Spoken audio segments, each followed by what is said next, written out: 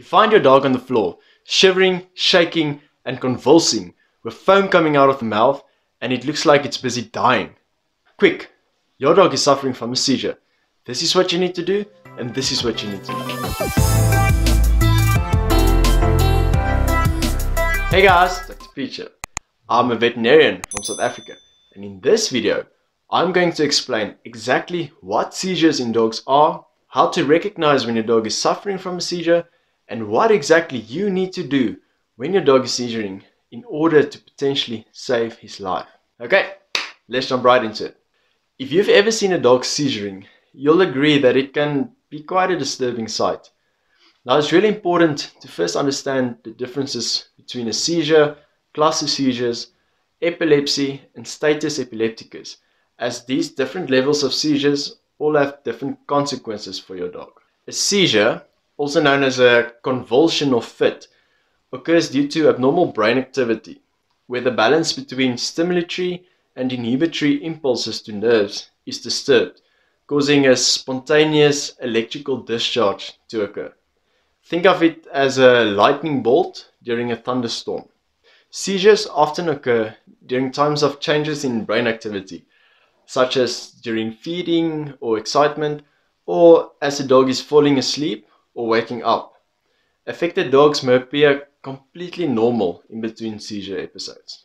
Epilepsy is a term used to describe repeated episodes of seizures, which are often unprovoked and recurrent. Now, epileptical seizures are characterized according to which area of the brain is affected and can be either focal or localized, called petit mal, where only a certain small area of the brain is affected, or generalized, called grand mal, where a larger area of the brain is affected. Obviously, focal seizures can eventually develop into generalized seizures if left untreated. Idiopathic epilepsy is a seizure of unknown origin and is common to find in certain breeds such as German Shepherds, Golden Retrievers, Beagles, and Border Collies between the ages of 6 months and 6 years. A cluster seizure describes any situation where dog has more than one seizure in consecutive 24-hour periods. And finally, status epilepticus describes any seizure that lasts for more than 5 minutes. This is a very serious and life-threatening situation and requires immediate medical attention. Otherwise, dog may die from cardiac and respiratory arrest or suffer irreversible brain damage. Now seizures typically consist of three components. Number one, the pre-ictal phase, which is a period of altered behavior, where the dog will typically hide, appear nervous, or seek the owner's attention. It may be listless, whining, or shaking, and this may last from a few seconds to a few hours. This period precedes the seizure activity, kind of like the dog anticipates that something bad is about to happen. Number two, the ictal phase, which is extremely variable in appearance and can range from uh, mild changes in mental awareness, such as a dazed look, head shaking, or licking of the lips, to a complete loss of consciousness and body function, where the muscles in the body move spastically and erratically. The dog usually falls over to its side, starts paddling, while seeming to be otherwise paralyzed. Urination, defecation, and salivation may also often occur. And number three, the post-ictal phase, which is the period immediately after the end of the seizure, where the dog typically shows confusion, disorientation, pacing, restlessness, and even in some cases, temporary blindness. Seizures are caused either by abnormalities inside the brain, called intracranial causes, or abnormalities outside the brain called extracranial causes. Extracranial causes include toxicities, metabolic disorders, congenital conditions, organ failure, and systemic infections. Intracranial causes include lesions, hemorrhage, scarring, infections, and even cancer of the brain. Now, a seizure is not really a diagnosis in itself, but rather a symptom of an underlying condition which can have many different origins. Now, finding the exact underlying cause may sometimes be simple and straightforward, but in many instances it requires extensive medical workups over extended period of time, with the final diagnosis not made by finding the exact cause, but rather by eliminating all other potential causes, as mentioned earlier. Your vet will need to take a thorough history, perform a physical and neurological exam, some blood and urine tests, and in more advanced cases, an electrocardiogram, spinal fluid analysis, CT, and MRI may be necessary. Now, seizures that occur less frequent than every six weeks is not as worrisome, but they can eventually develop into more severe and more frequent seizures.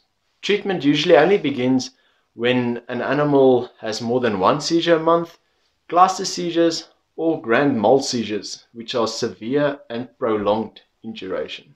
The two most commonly used medications to treat and prevent seizures in dogs are phenobarbital and potassium bromide. Newer anticonvulsants such as zonisamide, levetiracetam, and omeprazole are also becoming increasingly more popular.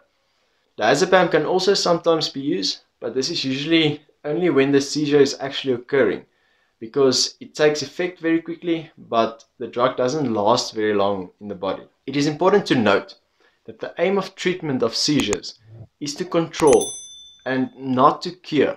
Treatment requires therapeutic monitoring by means of repetitive blood tests and clinical evaluations to assess the efficiency and potential side effects of the treatment. And in many cases, epilepsy medication needs to be adjusted in terms of the dose and the type of medication used due to the buildup of tolerance over time.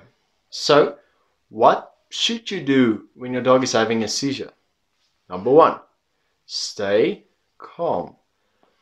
Despite the violent and dramatic appearance of a seizure, they are generally not painful, and you should allow the seizure to just pass with minimal intervention. Number two, stay away from the dog's mouth or head Contrary to popular belief, dogs do not swallow their tongues during a seizure. If you're going to put your finger on an object in the dog's mouth, you're not going to help him. And you're probably going to end up being bitten very badly, or you're just going to injure your dog. Number three, gently slide your dog away from anything that can potentially harm him, such as sharp objects or sharp corners. Number four, if the seizure lasts for more than a couple of minutes, your dog is at risk of overheating. So turn a fan on your dog and wrap a cool damp cloth around his paws to help him cool down. Number five, speak softly and reassure him by gently touching his back and hind limbs. Keep other dogs away, dim the lights in the room and close the windows in order to try and keep it as calm and quiet as possible. Number six, try to time the pre-ictal, ictal, and post-ictal periods, as this will be extremely useful to your vet later on when he or she needs to make a diagnosis. Number seven, call the vet as soon as the seizure ends, as you will be able to ascertain how serious the dog's condition is. As a rule of thumb, every seizure that lasts for more than five minutes, or if your dog has several seizures in a row while he's unconscious, you will need to take him to the vet as soon as possible. It is also recommended to not allow your dog to swim while he undergoes treatment in order to prevent accidental drowning. And be aware that most dogs that are on long-term antileptic treatment may gain some weight. So monitor your dog's weight and discuss an appropriate diet plan with your vet if necessary. Now, this is very important. Never ever approach a seizuring dog in an area where rabies is prevalent or if you are unsure of the dog's vaccination status. Rabies is a very fatal disease which can have a similar presentation. So always, always put your own health and well-being first. Seizures in pets are very serious and can become progressive. But owners can be comforted by the fact that the tools for diagnosis and treatment are many. With sound veterinary practices and early treatment, can seizures often be controlled in a way in which quality of life is not adversely affected, and pets can often carry on to live a long and happy quality of life. Thank you for watching this video. Let me know down in the comments if you ever had a dog with seizure and what you and your vet did to help him cope with this condition. And if you are new to my channel, consider subscribing as I'll be posting new videos on interesting pet related topics every week. As always, have a lucky day and I'll see you in another video next week. Cheers!